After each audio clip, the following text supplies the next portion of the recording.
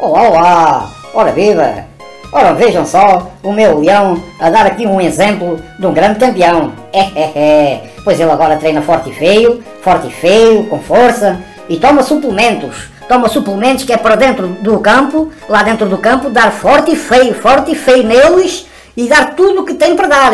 E viva o meu leão que se está a preparar para ser campeão! Campeão! é ver e calar. E pronto. Eles ainda fazem pouco do jogo.